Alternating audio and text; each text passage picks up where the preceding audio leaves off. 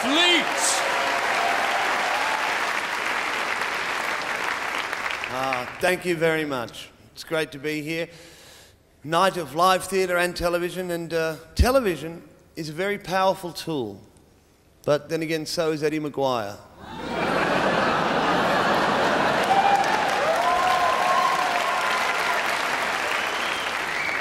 Uh, as you know, I look after your best interests, and uh, recently something has been uh, confusing me and no doubt confusing you, and I've written a letter to the appropriate person, and I'd like to read it to you now.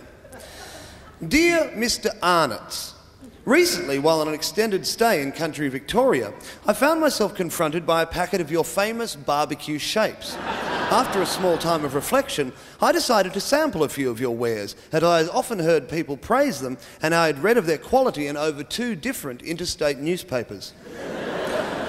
Upon removing three of your biscuits from their container, I was struck by the fact that while uniform in shape, they resembled in no way any barbecue that I had ever seen.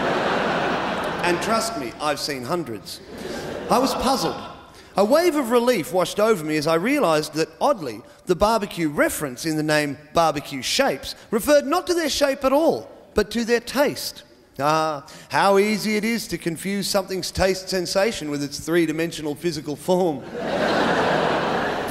I then ate the biscuits, first one, then another, and then, not surprisingly, the third. With each, I was hit by an alien sensation. In no way did they resemble any barbecued produce that I had ever consumed. Rather than make a snap judgment, I sent a chap out to bring me 43 different kinds of animal, many of which are both difficult and illegal to kill. I then barbecued and consumed each animal individually. Sadly, none of them resembled your product at all, Mr. Arnott. Finally, thinking laterally, I deduced that your product may in fact taste like an actual barbecue unit.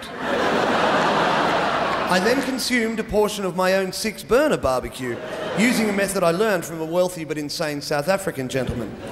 It tasted of steel, plastic, and the grease of 43 different animals, but sadly, not of your product at all. Mr. Arnott, there has been an injustice here. A mistake has been made re your barbecue shapes, and as a fellow man of breeding, I beg you to redress this imbalance. There is no judgment involved here, for as we all know, the barbecue is a wily beast, and one that is at times quite difficult to define. I remain your friend, Gregory Fleet Esquire, CEO, Fleet Industries. Thank you very much. Good night. Have a great festival. Peace.